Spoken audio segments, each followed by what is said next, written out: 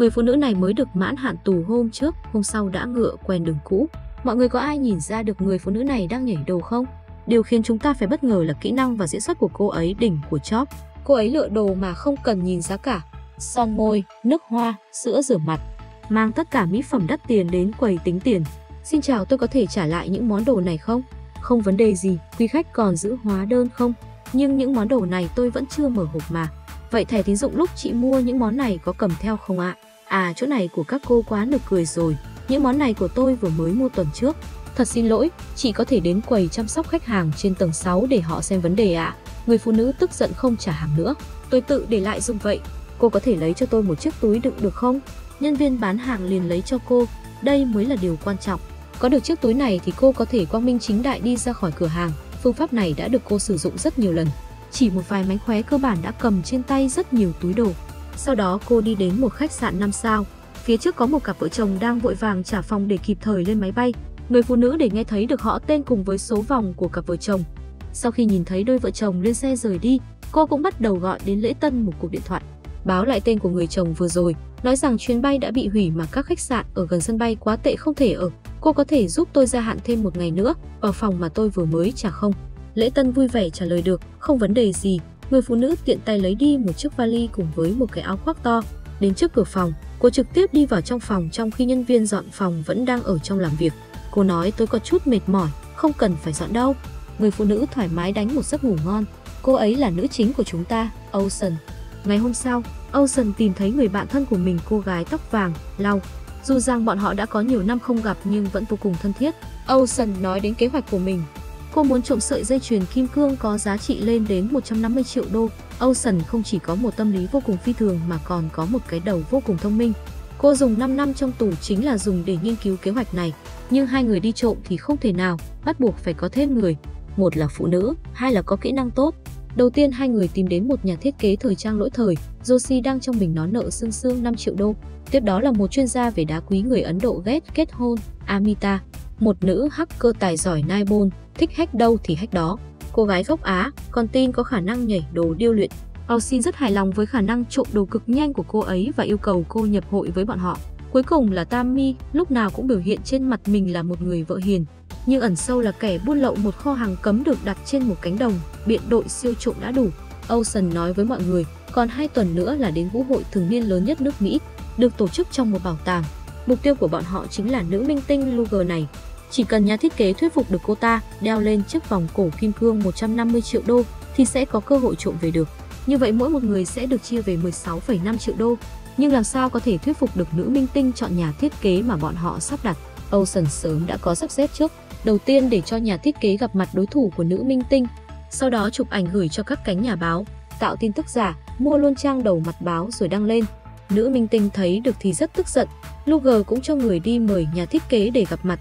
Olsen bảo nhà thiết kế phải thờ ơ, lạnh lùng với cô ta. Nữ minh tinh thấy thế thì vô cùng tức giận, liền quyết định ngay tại chỗ cho nhà thiết kế trở thành người thiết kế hình ảnh cho mình.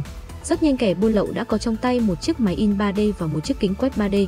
Nhà thiết kế và chuyên gia đá quý đã cùng nhau đến công ty bảo hiểm, đóng giả thành trợ lý đến chọn phụ kiện cho nữ minh tinh, rồi nhân cơ hội quét chiếc vòng cổ gửi hình ảnh về nhà. Cuối cùng họ cũng tạo ra một sợi dây chuyền y chang bản gốc. Nhà thiết kế quả nhiên không phụ lòng tin của Ocean. Cô ấy đã thuyết phục được nữ minh tinh đeo theo sợi dây chuyền và xuất hiện ở vũ hội. Hacker lúc này cũng đã xâm nhập được vào hệ thống giám sát của bảo tàng, điều chỉnh những góc quay của camera, tạo ra một điểm mù ở ngay lối vào nhà vệ sinh. Cô gái buôn lậu cũng đã thành công và được công ty tổ chức vũ hội làm việc, đảm nhiệm công việc giám sát hiện trường. Cô còn giới thiệu lao vào vị trí giám sát nhà ăn. Mọi việc đều diễn ra một cách thuận lợi, tất cả đều đã vào vị trí. Giờ chỉ còn đợi vũ hội lên đèn. Trước khi bắt đầu vũ hội vài tiếng đồng hồ thì lại xuất hiện vấn đề.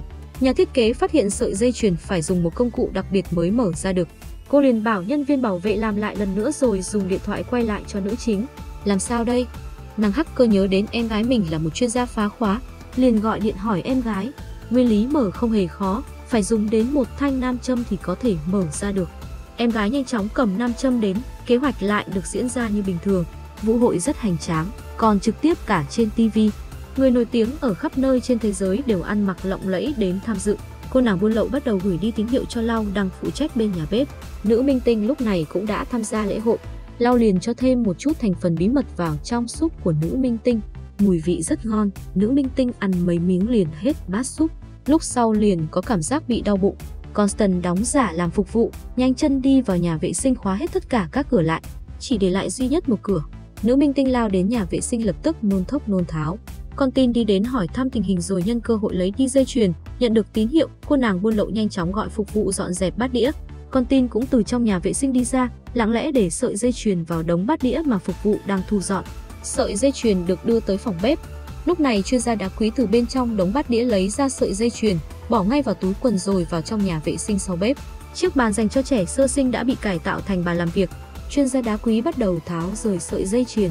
Cùng lúc này, nữ minh tinh phát hiện ra sợi dây đã biến mất rồi. An ninh cuống cuồng đi tìm nhưng không hề tìm thấy. Chỉ có thể để cho ban tổ chức tạm dừng buổi vũ hội lại. Tất cả mọi người đều phải ra ngoài đợi, mở rộng tìm kiếm khắp nơi. Một nhân viên an ninh rất nhanh đã tìm đến nhà vệ sinh. Lúc này chuyên gia đá quý còn thiếu một chút là hoàn thành rồi. Cô gái buôn lậu liền nhanh chóng bỏ sợi dây chuyền giả đang đeo trên chân, ném xuống dưới nước. Sau đó giả vờ như vừa phát hiện ra và trả lại cho bảo tàng. Báo động kết thúc, mọi người tiếp tục quay trở lại vũ hội. Chuyên gia đá quý cũng nhanh chóng hoàn thành nốt phần còn lại. Sau đó đưa cho nữ trộm đem dây chuyền đã được cải tạo lại, chuyển đi cho những người khác. Sau khi vũ hội kết thúc, không ai chú ý có phải người đang đeo kim cương trên người bước ra ngoài. Chính nhờ điều đó mà thần không biết, quỷ không hay, chính lúc mọi người đang ăn mừng thì nữ minh tinh đột nhiên xuất hiện trước mặt bọn họ. Nói các người đều xong đời rồi. Mọi người bị dọa tí đái ra quần, ngáo ngơ không hiểu chuyện gì đang xảy ra. Nhưng sau đó, nữ minh tinh lại cười và ngồi xuống cùng bọn họ. Ocean liền giải thích mọi chuyện. Hóa ra nữ minh tinh đã sớm phát hiện ra nhà thiết kế đang quay trộm mình. Đoán được bọn họ muốn trộm sợi dây chuyền. Cô ấy là người rất xinh đẹp nhưng không hề ngốc, thế nên nữ chính liền rủ cô nhập hội. Chia tiền cho 8 người còn hơn là một người cũng không được đồng nào. Nhân tiện cũng được nữ minh tinh che giấu cho. Ocean sớm đã biết công ty đá quý sớm sẽ phái người đi điều tra, để dẫn dắt cuộc điều tra nhắm vào người khác. Lúc ở vũ hội cô đã lặng lẽ để lại viên kim cương lớn nhất, bỏ vào trong túi áo của đối tác nữ minh tinh. Hóa ra trước kia, Ocean và Becker vừa là người yêu vừa là cộng sự. Một người phụ trách bán tranh, một người giả làm người mua đấu giá. Trải qua nhiều lần thành công, họ cũng tăng dần tình cảm với nhau. Có một lần Becker để Ocean ký tên lên một hợp đồng bán tranh. Ocean cũng không nghĩ ngợi liền ký tên lên. Không ngờ rằng đây chính là một cái bẫy của Becker tạo ra. Buổi tối hôm đó cả hai bị bắt trong một buổi giao dịch. Ocean vì tình yêu mà không chịu khai báo nhưng Baker lại đem tất cả mọi tội lỗi đổ hết lên đầu cô. Tên đàn ông cặn bã đó cũng an toàn thoát thân. Ocean bất ngờ, ngỡ ngàng, ngơ ngác, ngã ngửa.